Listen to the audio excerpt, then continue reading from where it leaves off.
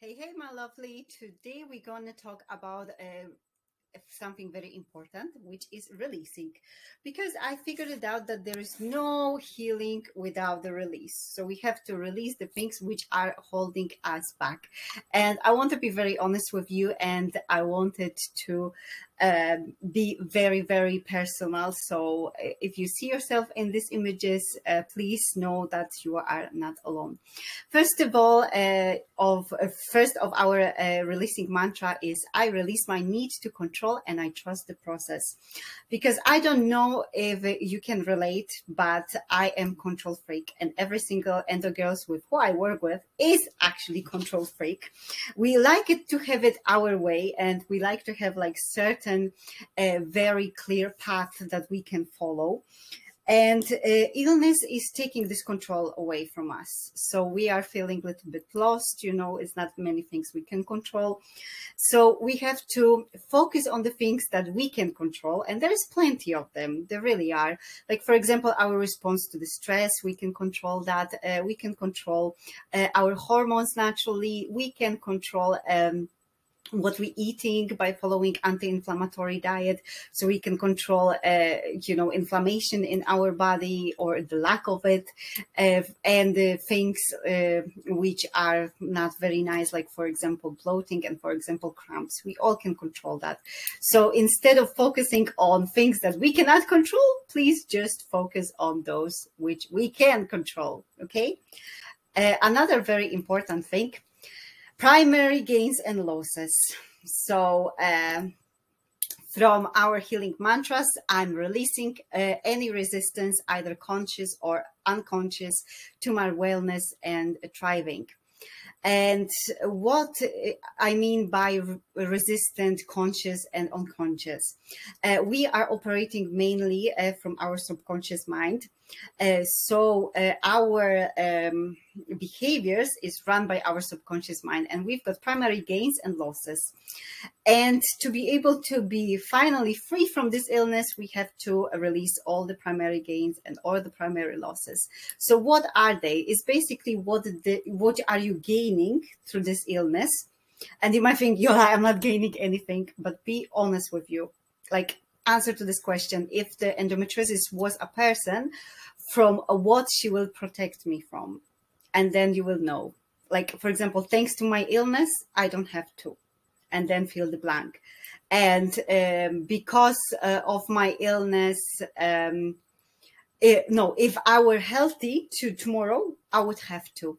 That would give you ideas which are the primary gains and the losses. Losses is what you're going to lose when you get healthy, when you get rid of this uh, specific problem. So as you can see, we have to release this completely because as long as you will be using your illness for something, as long it will stay with you and we don't want that. Another thing, healing the body is uh, the same as healing the soul it always comes together hand in hand. You cannot heal your body without uh, looking deeper and without healing your soul. I release past pain and hurts with love and gratitude. So, whatever was holding you back, whatever past uh, pains and traumas that have to be dealt with, that have to uh, be uh, put the, into the surface and look at with a love and released with a gratitude. Otherwise, it will be very, very difficult for you to heal. Uh, the next from our affirmation healing mantras Today, I release toxic thoughts and emotions, unhealthy relationship, thoughts of uh, revenge and unforgiveness, negative words I spoke about others and to myself. I just let it go. This is very deep, guys. Epigenetics is uh, telling us that we can actually influence our genes which is mind blowing. Uh, Emoto water experiment is uh, showing us that uh, humans' intentions and humans' um, focus can influence the structure of the water. And taking into account that we are 80% of the water, it's mind blowing. Seriously. So, any toxic thoughts that you think about others, uh, will manifest in your body. Any toxic thoughts, uh, negative words you're talking uh, about yourself it will come back to haunt you. So, guys, we have to be very, very mindful because your mind can either heal you or it can kill you. There is no joking around at it, and this is not some kind of woo woo. This is actually proven by science. So, please take it very, very seriously. Another uh, thing from our healing mantras I lovingly release myself from my own past let it go. Let it go, guys. Sometimes uh, we are um, choosing the illness and holding into illness as a punishment for something we did very, very long time ago. And I know from my own experience and from working with uh, my endo girls that where is this illness, there is very likely some kind of shame, some kind of uh, trauma, and some kind of forgiveness that needs to be done because there's no healing without forgiveness. So whatever you're uh, been holding you back, I want you to forgive yourself and release this because the thing which happened in the past should stay in the past.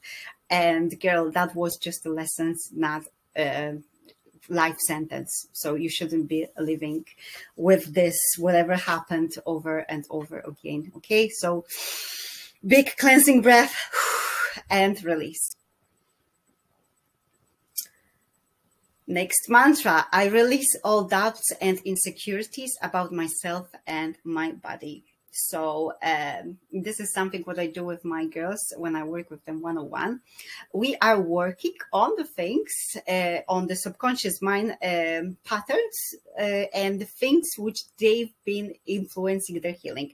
Like, for example, what other people told you about healing? That the healing, it, it will be very long, like it's going to be hard uh, no one else done it. And you know and think what other people told you about your body as well you know and the things what you told yourself about your body. Like for example my body never cooperates with me. My body always breaks down when i need it you know. I'm always in constant fight with my body. All these things have to be named and have to be look at it and have to be released. So let it go. And the last one from our release healing mantras I release my attachment to outcomes and choose to trust the universe, God, and divine timing. This is something what I had to um, look at very, very recently. But I'm going to tell you in a minute. Uh, basically, you have to release all the expectations you have uh, regarding the healing I don't know if you are like me, but I give myself certain period of time where I supposed to heal and it never works because first of all, everyone is healing in their own patterns. You cannot speed it up. You really can't. And the moment you think you, you are over something, then, you know, something uh, will happen and you have to go back and finish your healing. And I had that very, very recently when I give myself uh, time to heal from my lost pregnancy. I was literally so angry at myself that it took so long. I didn't expect it to take so long, like weeks and weeks and almost month. And I didn't do anything. I didn't post anything. So you know, I was expecting it's to last at, at, least like one week, but never longer because, you know, I'm not the, the, this kind of person who dwell into my misery. And, but guys, we have to be very, very humble uh, because the healing process is ongoing and we just have to release all the attachment to the outcomes and just trust the God and trust the universe because everything happened in its divine timing. We cannot speed it up.